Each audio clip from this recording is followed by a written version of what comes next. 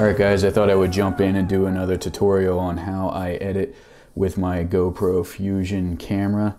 GoPro just uh, released a beta software update for the camera and for GoPro Fusion Studio.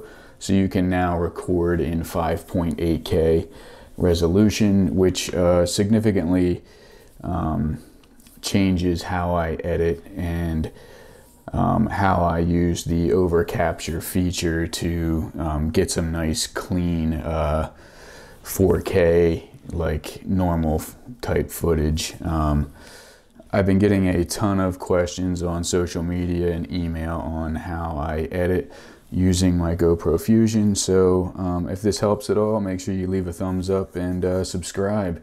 So let's jump in. Thanks for watching here we go. So we're just going to jump right in. Um, for starters, I like to transfer my footage directly from my camera to my PC or Mac in this case. And I typically create a folder called like Fusion Raw. Inside of that folder is your DCIM folder and inside of that you will see your GoPro front and back camera. So uh, basically it's very important that you leave this file structure the way it is inside of the camera. So basically everything underneath this DCIM folder, you want to leave, um, you know, leave the file or folder names the same so that the Fusion Studio will recognize uh, that type of file. So opening Fusion Studio, obviously I can browse my camera media directly or I can just add media from um, files, which I find to work much better. So if I uh, navigate to my uh, desktop, Fusion Footage, Fusion Raw, highlight the DCIM folder, click Open, you'll see that it will give you a little bit of a preview window um, on the left here. And what's nice is you can change the size with this little slider. So from this point, I um, have to render the two cameras uh, together into a video file called uh, equirectangular format, which Final Cut Pro um, will recognize um, flatten it out and you can uh, stitch clips together and edit just like you normally would, um, you know, regular flat 1080p footage or whatever. So um, this step is, is very important depending on which editing software you're going to use. Uh, I, again, am going to use Final Cut Pro. So um, just some quick basic steps here, uh, full stabilization, and uh, I use the GoPro color. You can use flat and color grade and Final Cut if you want. Just personal preference. And okay, so this is the important step here. Um, depending on which uh, software you're gonna uh, edit with after this um, will depend on what type of file you want to use here. I like to have the absolute highest resolution. So I'm using uh, 5.6K and I do editing, stereo audio, and then I create the render queue. Now, before I click render all, I can set my folder location. Um, so I would go to uh, Fusion Studio, Preferences, Export Location, and I usually make a folder um, called Stitched, uh, and that just helps me find it later when I'm trying to um, edit in Final Cut. So I'm just going to click Open there. I already kind of had that set up. This is kind of a bummer here. Um, if you click on this, it, it defaults to this Cineform 422 and I'm not sure why, but uh, Final Cut Pro does not recognize this file format, so it will not let you import it if you leave it there.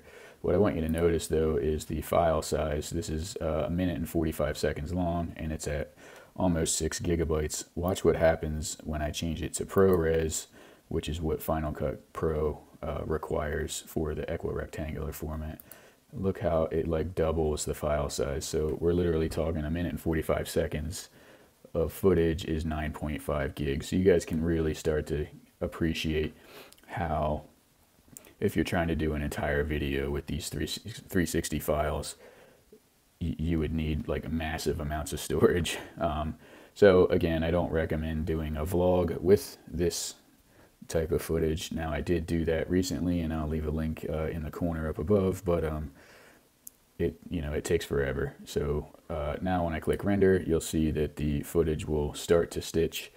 And again, depending on the power of your PC or Mac in this case, uh, will depend on how long this takes. uh, footage is stitched in Fusion Studio. I now have Final Cut Pro open.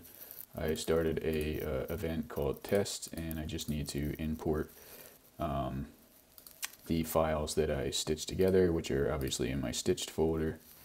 Um, I know the one I want is 59. The file's in place. And I always just like to double check my footage against my um, against my timeline setup here. So if I go to the uh, info tab, I can see it's 38.4 by 2160 at 23.98. And if I just highlight the clip and go to the info tab, I can see that the resolution's a little bigger, which isn't a huge deal because I'm in a regular 4K timeline. Um, and this was equirectangular format, so obviously it's a larger footprint, but the uh, 23.98 is what I want to make sure is the same. So I want to drag my clip down to my timeline. I'm just going to crush the audio here. Um, and I'm going to get rid of the first couple seconds because so hold down B for the blade tool, highlight, delete, and I'm just gonna trim this down pretty good just because um, for the tutorial you don't really need to see the whole edit. But um, now as you can see, since it's a 4K timeline, that the footage or the camera just seems to appear to be like aimed at whatever it wants to be. It's not really following anything or anybody. So what we have to do is add keyframes to make the camera look at what we want it to look at. So if I highlight this orientation tool, um, highlight my video clip up here, you'll see uh, orientation is basically the tilt, pan, roll, and the field of view. Uh, I always like to start with the field of view and I like to put it at like 130 and you see you get like this nice wide shot and then with the orientation tool selected I can just click and drag and basically get the camera pointed at whatever I want. I see my uh, roll is a little off, so I'll press the up key here. And now I pretty much got the camera pointing the direction that I want at the start of my clip. So I want to click the add keyframe option and you'll see it adds a keyframe for each one of these categories. And now what I want to do is just scroll through my footage here. And the trick is to not add a lot of keyframes. So I'd say I'm a good 20 seconds in. So now I want to let's say we just want to orient the camera a little bit more sideways. Fix the roll a little bit. And then click add. All those are already added.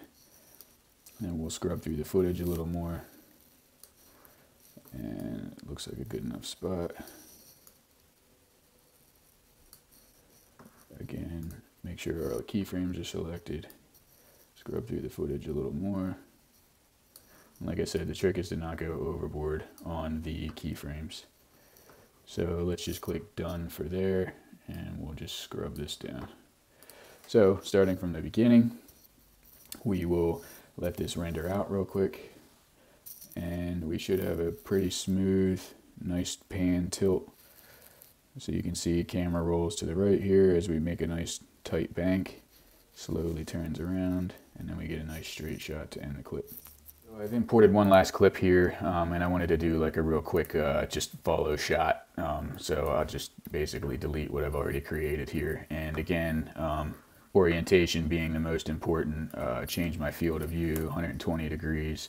And if I scrub through this footage, I can see there's this boat going by.